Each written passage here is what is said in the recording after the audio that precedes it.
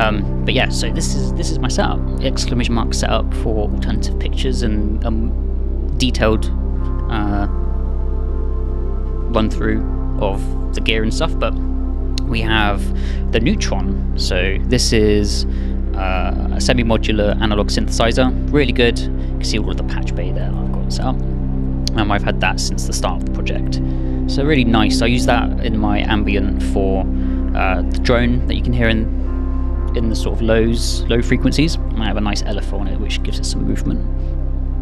Then we've got the Behringer 305, which is a mixer. So that's new with the rack that I built a few weeks back. So this was designed to take the inputs, or the output, sorry, from the Neutron, the K2 and the Juno, and then put it into a nice mixer that I can tweak. Uh, we've got the Doepfer Wasp filter. That's currently filtering the, uh, the Juno power supply and then the Behringer K2, which provides some sort of like mids, nice sort of uh, portamento notes going up and down. And then we have the two launch pads. So these two launch pads, um, obviously you've got the, the, session mode, which shows the clips in Ableton, but then you've got three user templates. So on this one, I have uh, the drums template. So this template for my normal improv controls three different drum tracks and then my EXO drum sequencer. So I have a total of four drum tracks sequences that I can sort of mix between. So these buttons will toggle mute the kick, snare, hi-hat, hi-hat open, clap, uh, ride cymbal, um, shaker and tom. Those are some predefined sort of noise sweeps that I have in that project. For the ambient project, this doesn't do anything because I don't have drums in my ambient project. And then we've got the keys tab. So this controls um, the patch selection for my guitar. So I use Guitar Rig 6 uh, as a virtual pedal board instead of actual pedals because I don't have actual pedals. Um, so these buttons control which preset gets selected. For the ambient stuff, I only have two rows, but for my normal improv, I have three rows. Uh, this button here toggles between the cue for me, so you can't hear it because the cue only goes to my headphones, but that allows me to basically hear what's going on pre-effects. And that's really interesting for the ambient because with the ambient, most of it is like reverb and effects. So listening to the dry signal is, yeah, it's very interesting. And then we've got a button here which uh, creates a marker in Reaper for editing. I don't use that in the ambient because I don't edit the ambient, I upload it straight to YouTube. And then finally on this launchpad, the user template. Um, I honestly can't really remember what all of these functions do, but it's usually something to do with MIDI. So I think that's to toggle between eighth notes and 16 notes of a uh, of an arpeggiator that enables the arpeggiator that holds the note.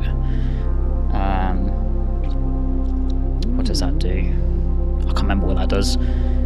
I think that one adds an octave and that one adds a, a negative octave to the MIDI notes. That selects uh, my gate sequencer and then this I think toggles mute for the MIDI, which is actually uh, important because when you mute an audio track, obviously mutes the effects as well. So what I do instead is I mute the incoming note signals for each of the tracks so that the FX can sort of trail off and fade out rather than just hard stop, which sounds a bit weird. And on the second launchpad, again, session mode, and then we've got the drums template. I don't really use this, um, but it's there. So these will trigger different drum clips uh, for each track. So all my drums are, are color coded. So kick, snare, hat, open hat, clap, ride, shaker, tom, so the kick is always red, the snare is always yellow, the blue is always hat, etc., etc., and that matches to this as well. Um, these buttons stop the clip, that selects the track, and then that arm records the track. We've got the, the, the second keys template, so those two control um, something in Ableton like quantize and loop length. I can't remember what any of these do. I don't. I probably don't use them. Can't remember what any of them do. And then the user template. Um, so this one, this row. What does this row do? Oh yeah. So this row um, allows me to um, output the audio from each track as a sort of secondary source, so I can double it up these just select the, the, the, tracks in Ableton. This allows me to toggle on and off the uh, the cue for each track. So when I'm queuing, I can turn off certain tracks if they're too loud or whatever, and I can listen to one or more track to sort of build up my next melodies. And then this toggles the output to stream. So for my ambient, those do the same. Um, most of these other buttons don't do anything. That one selects the audio loop, that one arm records the track, and no, sorry, this one resets the track. I don't use that for the ambient because I don't ever reset any of the tracks. I'll show you why I do that in my uh, in my radio project after. And then this one arm records the track. And that's it for the launch pads. There's a lot of macros going on. It's really difficult to keep track on what they actually do. Um, and if, especially if I haven't done a radio improv in a while, I forget what they do. I used to have little stickers along the side that sort of reminded me, but it looked a bit shit when it was down here, so I just took them off. And then we got my favorite piece of equipment, the OXI One sequencer. So this is my master clock. This controls the BPM of the project. Ableton is synced to this, so this drives it. For the ambient, this controls everything. So this controls uh, the drone, so that's the Neutron. It's just doing one note at the moment. The second uh, sequencer controls the K2. You can see it's got a few notes that selected. Um, they're all sort of like randomly percentage chance to trigger, so it's not. It's, it doesn't sound too melodic. It's a bit more sort of like. Um, number three is stochastics. uh, sequencer. So this is more of like a randomly generated sequencer. Each note is a probability, um, and that controls the Juno. And then number four is Matriceal, which is a very cool sequencer. So Matriceal has four sub-sequencers in this one sequencer, and each one of these controls um, the yellow, blue, pink, and green track of the project.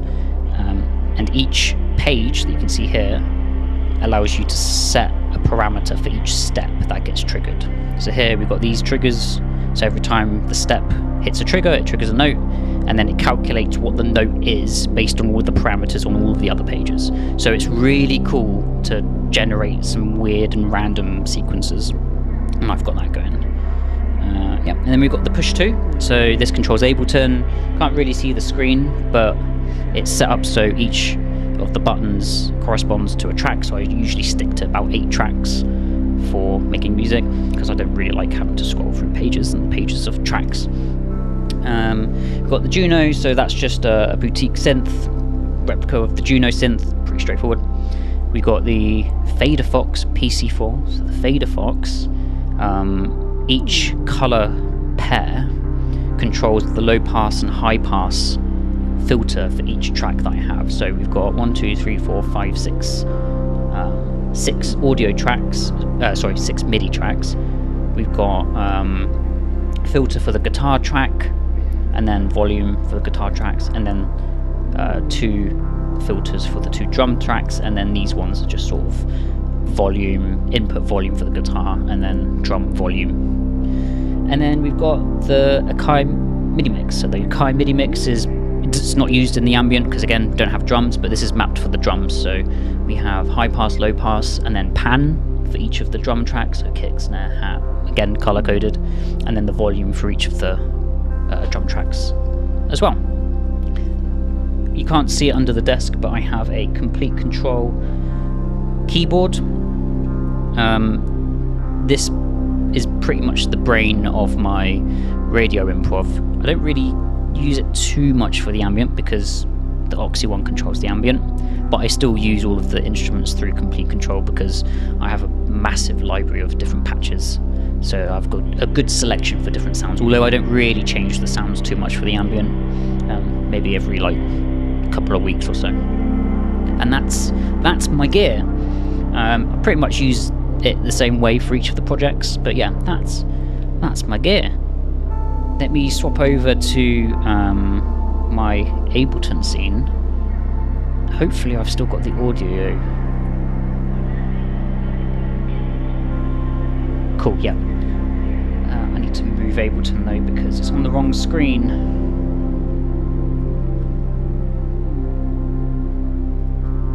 Right, so you can see that and you can still hear, yeah? Cool.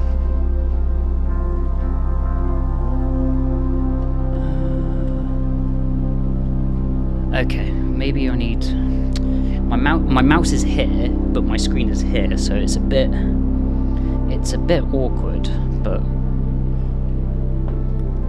Uh,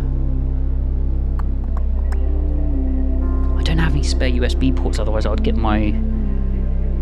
I would get my um, wireless keyboard and mouse. Anyway, anyway, so this is my Ableton project for my ambient. So this is based on my radio improv project. Um, it looks complicated, but it's actually not as complicated as my radio project.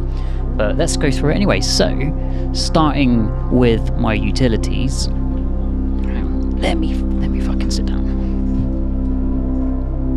Maybe I'll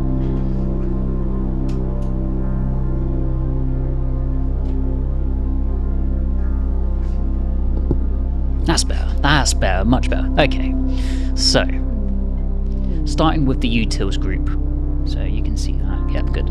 So this is the same between two projects. So this is basically all of my MIDI utilities.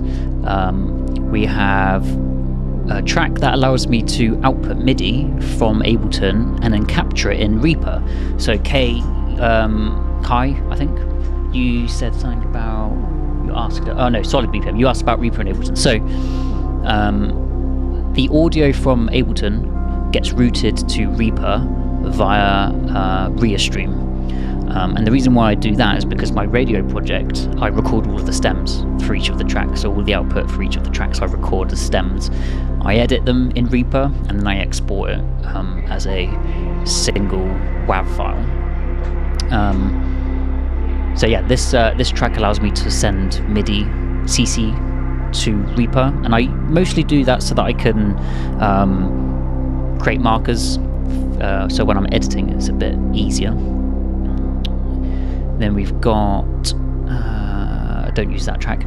We've got the push route. So the push is really weird because um, it doesn't output on one channel, it outputs on multiple channels, and that's a problem when you're expecting one channel, or if you have routing set up like I do, where you've got a different channel for each instrument that you use. So the push is really weird. So what this track does is it takes the input from all channels on the push. You can't see the drop down, but the push input for all channels, and then it basically just loop loop backs um, and forces them all onto onto channel one, um, so that I can use it for all of my MIDI tracks without it other stuff. You can see the cake; it's teasing you. Just just sat there, waiting to be eaten. Um, and then we've got some OXI routings. So in my project, I have a different MIDI channel for each instrument, for each track. So uh, the red track is channel 12, the yellow track is channel channel 13, the blue track is channel 14, pink track is channel 15, and then the green track is channel 16. So they're, they're also uh, number number coded. So you can see here, you can't see that anymore, but the red track is labeled track 2 so channel 12 10 plus 2 is uh, the channel for that track and then I basically just route that to the actual track within Ableton uh, and then I've got a couple of MIDI tracks here that allow me to I don't actually use this in this project in the Ambient project but it's useful nonetheless I can basically um, combine one MIDI channel um, to play both the neutron, you can't see it again, both the neutron and the K2, which is useful. Uh, and then, yeah, that's just more MIDI routings for the neutron, the K2, and the Juno. Then we've got um, my uh, virtual pedal board. So this is where the audio comes in from for my guitar. So this comes in from Reaper, which is running uh, Guitar Rig I've got uh, a gain knob and then some utilities that are just turned off at the moment. And then my cue track, so this is where all of my audio tracks run to, runs to cue, and then that sends to my cue input on Reaper, and then I can toggle solo on that within Reaper to hear the to hear the cue. So that's the MIDI utilities. This is the horn track. So if you do channel point redemption for a horn, it triggers a note which then plays in this track. There's a little random, so it will select a random sample, and then it will just play that sample. We have the announcer uh, audio track here, audio 3. A couple of clips for just like randomly playing different samples that I have loaded. Um, but you can see here I have a whole bunch of different samples, so like station announce, um, generic train, a French sample, etc. I do have a couple of like non-train based samples, like some water droplets, um, the breakbeat, and then like a sort of TikTok style tick, which is quite cool. Uh, this allows uh, this sends audio to the cue, so when I toggle cue, all of the audio pre-filter and effects get sent to, to Reaper so I can hear what the sound sounds like before going through all the effects. And then on every single track that I've got, I have a, a filter which has an LFO applied, so it's got some movement, uh, an EQ just to cut out the lows and then you know trim down some of the mids, an auto pan to make it have some some movement again. The, the ambient project's all about movement and sort of being semi-generative, so it doesn't, doesn't sound stale. I can just let it go and it does its thing. Uh, we have a compressor, so every track has a compressor with various different settings, then a generic volume knob, and then a track filter which is mapped to the Faderfox. We have these two audio tracks here that are audio tracks on my guitar. Um, they're basically exactly the same. So again, we have the, the cue output, we have the filter, EQ, auto pan, compressor, volume, filter. And that's the same on the second audio track from my guitar. And then we have our four MIDI channels. So these are um, they're all the same, these four MIDI channels, again, but just a different instrument loaded. Excuse me. We have an arpeggiator um, on the red channel because with uh, with my ambient, I quite like having sort of delay arpeggiator going off in the background rather than just a single drone. Gives it a bit more more character, and that's what I use the red track for. Um, but you don't want too much, so add a little bit of like a random chance, so it doesn't let every note through and then again an audio uh, auto filter with an LFO, a compressor, an EQ, um, a volume utility, and then a, a, track filter. And that's the same for each of these different tracks. They just have a different sound loaded. Um, yeah, and then we have the EXT channel, which is the input from all of my hardware synths. So there's only one input for the hardware synth, which makes it difficult to edit because it's three audio signals merged into one. Um, unlike all the other channels where they're all individual tracks and they all get recorded individually. Uh, but we have in Ableton, we have our external instrument, so we can send MIDI information to our synths.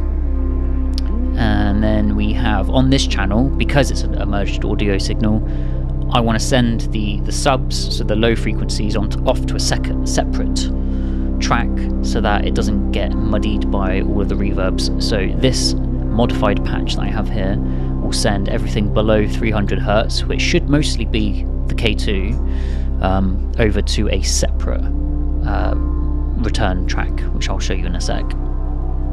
Tuner, because I have to always tune my Neutron, because it's always out, and you can see it's out right now.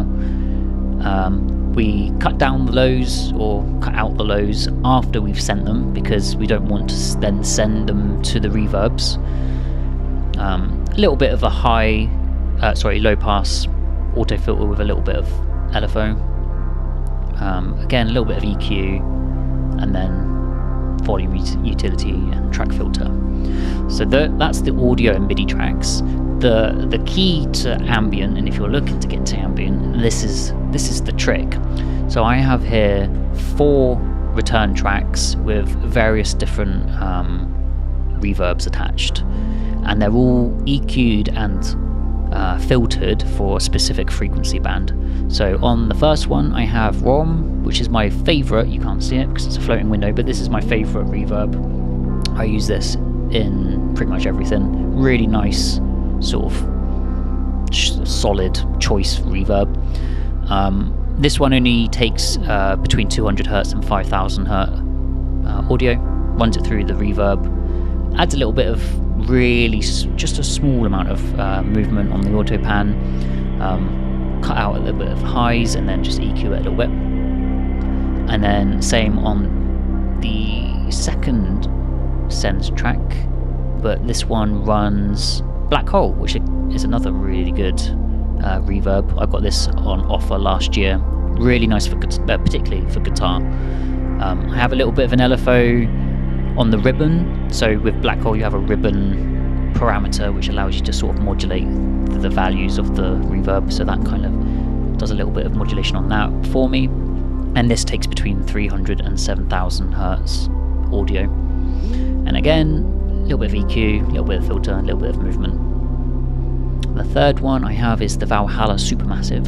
Again, another very nice reverb, and this one's free, so definitely worth picking up. And this takes a 200 between 15,000 hertz audio, and uh, again, EQ, auto pan, filter. You might see you might see a little bit of a pattern emerging with how I structure my, my projects. And then finally, on my Flex reverb sends, um, I currently have Gigaverb, which is quite nice. Uh, this is a Max for Live reverb plugin that's uh, someone recommended me a few weeks back. Um, but this is my sort of flexible track. I can swap in and out different reverbs to try different sounds and different things. And this takes between 100 and one, uh, 10,000 hertz audio, and again, filter, EQ. So that's my reverbs. I then have a um, a, a delay so this runs Replika XT. This is my go-to um, my go-to delay. I'm not a huge fan of the Ableton delays and echo. I don't know why. I just can't ever really get it sounding as nice as I can with Replika. Uh, and this takes everything over 300 hertz because you don't want to you don't want to delay lows. It just it sounds bad. And then I do a hard cut for the lows. Sorry, a hard EQ for the lows and then I also, you can't see the floating window, but I also do a little bit of a cut for the lows within the delay itself. We have our dry signal. So the dry signal um, is a combination of no, sorry, the dry signal is just another sends. So on each track you can see A, B, C, D, those are the reverbs, E is the delay, and then F is the uh, the dry signal. So I don't really send a lot of the dry signal through from each of the track. The horn I send dry signal, um, my synths I send a dry signal, but everything else is sort of just a little bit of the dry signal because the magic comes from the reverb. Um, yeah, that's the thing. It's really easy to get phasing with um, with ambient. So doing some EQ or heavy EQs, heavy compression and um, filtering really helps. Um, I, doesn't ultimately matter at the end of the day because ambient is very sort of sounds quite fluid. So even if you do get phasing it can sound good. It just can give you unexpected results. So like for example you might be adding guitar and not actually be able to hear it because it's just getting phased out so hard. Um, and that happens quite a lot. So yeah EQ definitely helps uh, yeah that's the dry signal so I got a little bit of um, glue compression just to stop any peaks from peaking that oh, that filter isn't actually doing anything. So, and then I cut down the lows. And the reason why I cut down the lows is because I have a separate sub return. So this takes all of the subs from my external track, mainly the neutron, to let through the lows without it sounding muddy. A um, little bit of compression, uh, high cut to cut out all of the highs. Not that it gets any anyway, but just you know to be sure and then just a little bit of reverb, just a, just a smidge of reverb. Don't want to send it through my normal reverbs because they're a bit they're they're tuned for like very long tails, whereas this is just to sort of blend it in a little bit better. And then I have a send track for all of the reverbs. So all of these reverbs output to this track, which then has a compressor, a limiter, and a filter. And then all of that goes into my master track, where I have another compressor, another compressor, a limiter to boost volume, um, a filter to cut down just a little bit the very highs, although I probably don't need that anymore, and then an EQ8 just to, again, help with the phasing a bit, and then a volume, and then a spectral analyzer. You can see the lovely frequency um, distribution. I have a lot of subs, so if you've got some good headphones, it sounds so much better. Like, it just sounds very sort of full and warm. And then finally I've got ReaStream, which then outputs to OBS. And that's the ambient project. That's pretty much it. Um, don't think I've missed anything. Again, it's it's very technical, but this project is based on my radio project template, which I've been building for the last two years. So a lot of this is sort of legacy you know you sort of build as you go you find new ways of doing things so you implement it and stuff like that um, and that's the ambient project so let me um, let me stop this now because that's the ambient done we'll save this and then I'll open up my radio my radio set this is going to take a while to, to load up because it's massive it's an absolutely fucking massive project So yeah, I hope you enjoyed that. I'll cut that out. I'll cut that out and upload that to my um to my YouTube. But I'm sure it will change by the time I upload it. That's the thing with my my streams is that I'm always sort of working on these projects and changing things. What do I use for the ambient in uh, for the reverb in the ambient setup? So I use um, Raum. I use um, Valhalla Supermassive, Blackhole, and then Gigaverb. I, I think I list them in if you type exclamation mark setup. I think I do actually list them in that, except for the flex. At the time, I was using RC20, but it's a flexible track, so it's always sort of chopping and changing. Right. Again, it takes absolutely forever for this project to open up. If it opens up, I really hope it opens up, because there's a high chance that it will just Ableton will just crash. It crashed for me this morning right before I went live. I was like, oh, come on. But whilst we're waiting for that to load up, let me go to my other scene so we can look at the gear instead, because that's always fun. Yeah. So a little bit about um, about my VFX. So the videos that I'm using in the background um, are from the NRK Norwegian Arctic Circle line so I think in 2013 they recorded this as part of something. I don't really know what, um, but they released all of the footage online. Someone made an archive of it before they got deleted, and that's where you can download them. But it's basically this particular uh, line is four journeys of the same route and the same line um, f- for each different season. So summer, winter, autumn, and spring. So there's about 40 odd hours of content um, and what I've done is I have gone through those 40 hours and I've cut clips out um, between tunnels. So when a train leaves a tunnel and goes into a tunnel, I cut that out as a clip. Um, and then I run that in OBS using the VLC plugin to randomly select a clip. So as um, as the train goes into a tunnel, it will select a new clip and it will come out of the tunnel and it'll look seamless. But now that now that the magic is spoiled, but you know that's fine. Okay, cool. It's loaded. Right, back to the Ableton scene.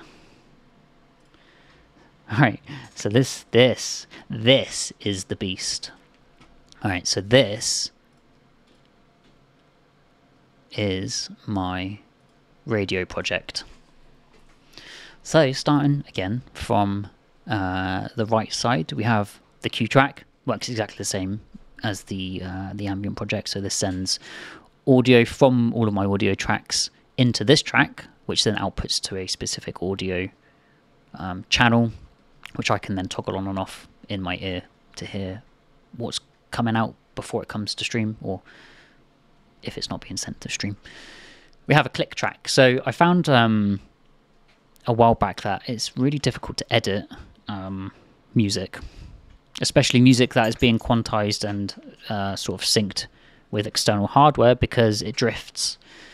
And when audio drifts, particularly along um, over a large amount of time, um, when you're cutting out large chunks of audio, it's very tedious to have to then realign the, the audio. So what this click track does, it's literally just a note on each of the uh, a note on each step, I guess. Whoops. Um, and that sounds a very loud click to Reaper. And then within Reaper, I can convert that to transient markers, which then allows me to sort of cut between instead of using a grid, uh, which is a lot, lot, lot better. And it's sped up my editing time like by five times. We have our utilities. So utilities, again, it's exactly the same as my radio, uh, my ambient project.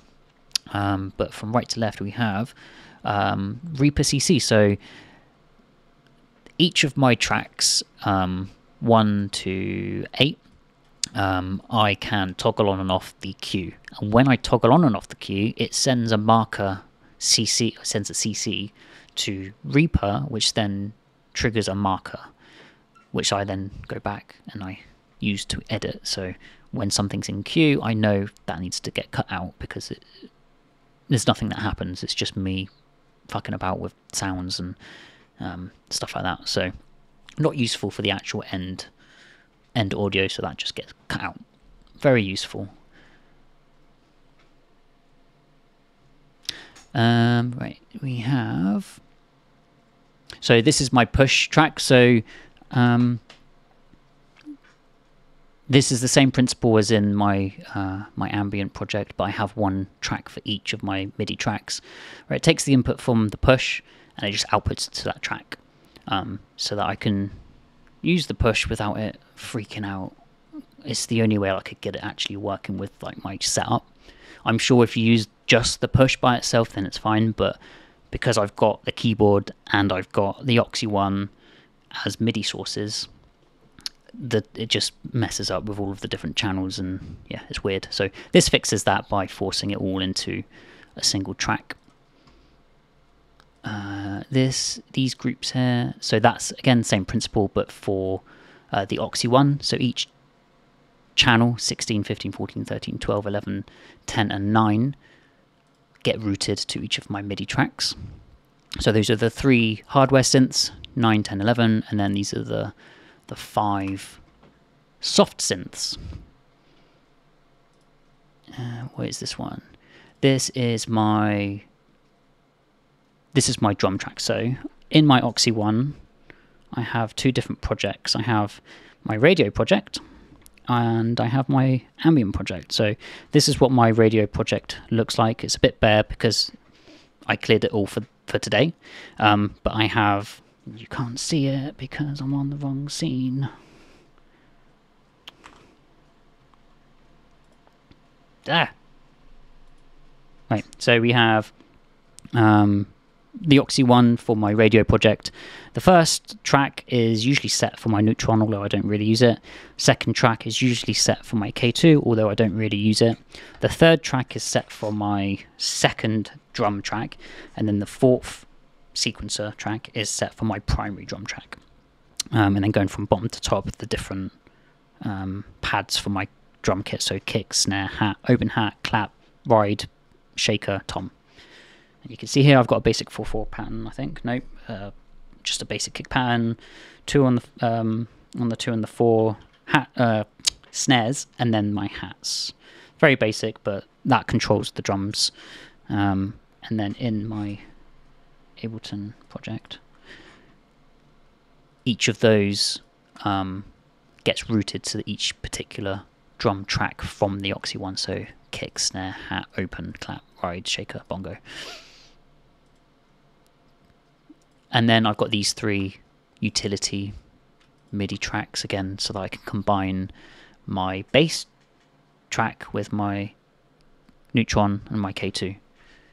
And then my virtual pedal board, which works exactly the same way as in the ambient project. And that's the utility. For my drum track, we have um, one individual track for each different hit. Um, and the reason why I do this rather than having a single track with um, traditionally kick, snare, hat on each of the pad is so that I can have multiple variations for the same kind of hit. So on this kick track, I have three different kicks that I can use. So hopefully you can hear this. Nope, you can't hear it. Um, ah, you can't hear it because I need to load up a different Reaper project.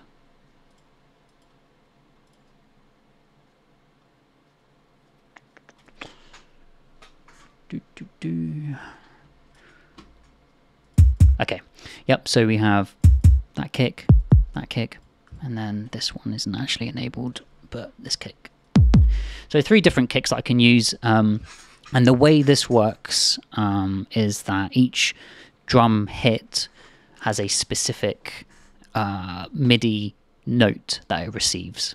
So for the kick, it receives a C. For the snare, it receives a C sharp. For the hat, it receives a D. For the hat open, it receives a D sharp, etc., etc. Um, but each of these different variations are set um, by a different octave. So this kick receives uh, C1, this kick receives a C2, this kick receives a C3, etc., etc. Um, and I can the reason why I do that is because the OXI One allows you to change the bass note in the um, in the multi-track sequencer to whatever you want. So if I want to change all of these notes to C2 for the second um, sample, I can do. Or if I just want to change one, I can do. Uh, I have a basic EQ for each of the drum pads. On the kick, I have a compressor. Shouldn't have that compressor and um, a drum bus just to give it some oomph. And then I have uh, my track filter, uh, my audio sends track, and then this magical Max for Live plugin. Um, so with my radio project, um, I run effects on each track rather than using actual sends because when I record the stems, I want the audio to be sort of recorded as is rather than having a uh, a big old sort of sends track with all the different effects. And plus, I like to tweak the effects per track. Hello, Kate. Thank you so much and welcome in. I need a little breather because I've been talking almost for an hour now. Let me have a little drink.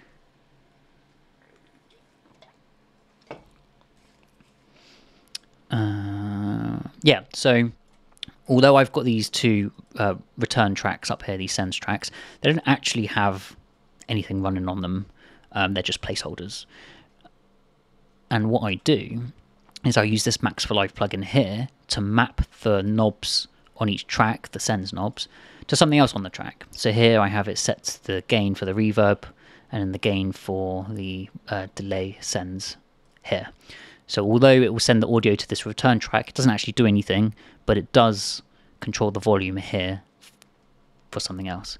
And that's a really neat little trick um, to make use of the return knobs via the push that you can't see um, to control the sends without it actually sending to a sends track. And then I do that for all of my drums. So again, kick, snare, hat, open clap, ride, shaker, bongo, and they're all color coded I don't remember to breathe. Um, yeah, and that's my drum track. I don't have any clips loaded, although I do have a template on my launch pad to be able to trigger them. I don't really ever use them, but it's there if I do need to. This track is my. Uh, I don't know why I called it trans, but this is basically just a filter sweep track. So I have a white noise that you can't hear.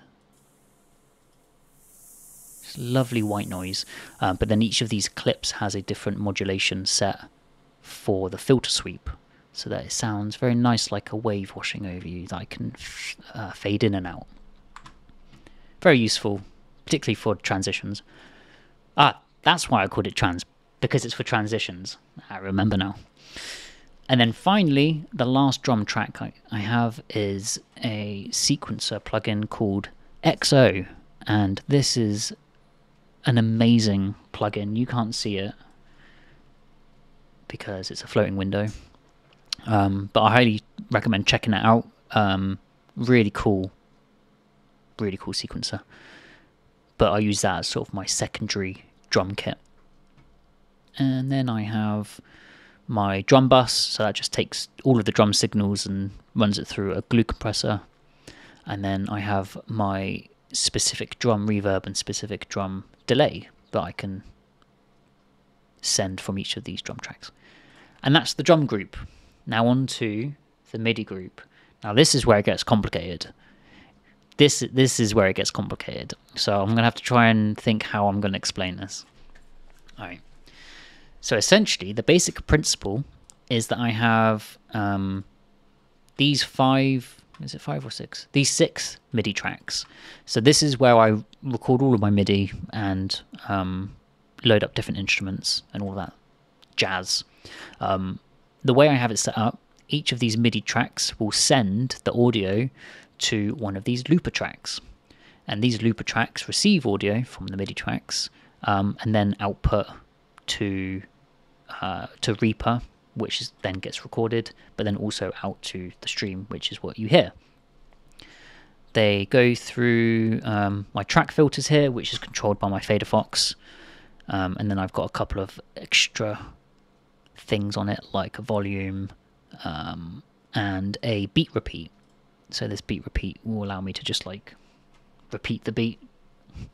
It's useful sometimes. I Don't really use it, but it's useful. Um, and the reason why I have it set up like this is because if I want to use a track, but it's currently playing something, rather than stopping the MIDI and stopping the audio to then spend 15, 20 minutes finding a new instrument and recording a new MIDI track, what I can do is I can record that audio into a clip. And then that clip will be playing whilst I do all of that stuff. So it, it sounds nice and I can then fade it out and fade in the new MIDI or just change over to the new MIDI track um, a lot quicker and a lot more sort of melodically, I guess. Um, very useful. Um, I don't really use it that much to record audio clips, but it's there if I need to, so it's very handy. And I've got my two guitar tracks. So same principle as in my ambient project. I've got two different tracks for my guitar that receive audio from my virtual pedal board. Okay, that's the audio routing. Now for the actual MIDI tracks. Um, so all of my MIDI tracks are structured in the exact same way um, because they're all mapped onto my uh, launch pads in the exact exact same way. So we have um, some MIDI utilities, so things like locking the note so it will only play the same note. Um, hold note, so when you play a note it will sustain. Uh, this allows me to add an octave or shift up an octave or shift down an octave or add an octave down. ArpCrafter is a really cool little sort of arpeggiator Max for Live plugin um, if you go to my blog on Medium, medium.com forward slash ScruffyFox, I think, I wrote a blog post about um, how I modified this patch to work with my push. So that's useful. But this basically allows me to hold different notes and then based on the position of the playhead and the position of the note, it will either play the note or play the second note or the third note, etc. etc. So you can get some really nice little patterns with this and I added a little randomize button so I can randomize the pattern, which is useful. Then we have a normal arpeggiator. We have a gate sequencer. So this is a device that I built, or I sort of hacked from another device, but I built this. Um, and this is uh, it's a gate sequencer. So each step progresses along with the playhead. Um, but if a bubble is off, then it doesn't play any MIDI notes. So it's useful if I want to record a very long melodic clip, but only really want to play like half of it. I can sort of do that or put a two bar or, or one bar or whatever. So that's really useful. Hey Retzel, how are you doing? Thank you so much for the happy affiliate. And on that note, I'm going to have a drink because I've been talking for a long time. Okay. We have a velocity. We have a pass. So that's what's mapped to my launchpad. So when I click that, no MIDI will go through, but all of my effects after the instrument chain will continue until they fade out. So it sounds a lot better rather than just hard cutting or hard muting the, the track. And we have a MIDI monitor that just tells me what notes going through. And then we have our Komplete Kontrol plugin. So the bass, yellow, blue, and pink tracks all run Komplete Kontrol. My external track is all my hardware synths, and then my green track runs a couple of Ableton plugins that I've got set. We then have a filter. We have a delay, which is Replika again, my go-to delay, really nice. We have a reverb, Raum again, my go-to, really nice reverb. Uh, we have a sidechain, so this sidechain um, basically takes. No, it doesn't take. Uh, no, so this sidechain is actually quantized. So every beat that happens, it will dip the the audio in the in the EQ down, so it gives it a sort of pump pump sound, which is really nice.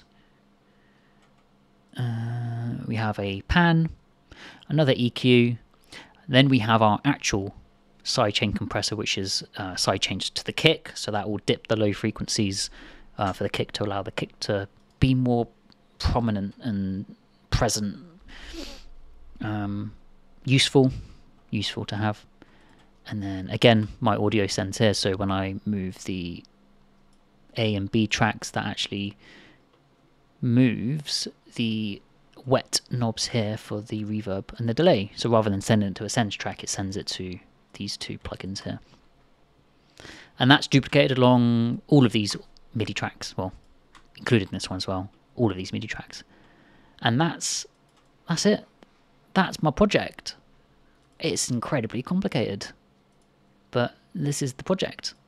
Um, so you can see here, I've got all of these clips loaded. So normally for an improv, I don't start with anything, maybe a drum pattern or a bass line or something like that. But everything is created from scratch. But for this project, I have selected from my pool of favorite improvs in the last year all of these different MIDI clips.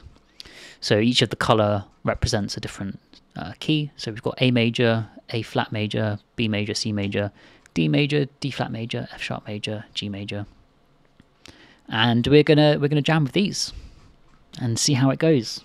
And I have no idea how it's gonna go because I haven't really tested it. So we're gonna see how it goes. But first we're gonna uh, we're gonna set up. So yeah, that's it in a nutshell. More information or other information exclamation mark setup. I try and keep my blog up to date, but because I change it so much, it's difficult. Uh, but every like three or four four months or so, I, I, I update it a bit with what's changed.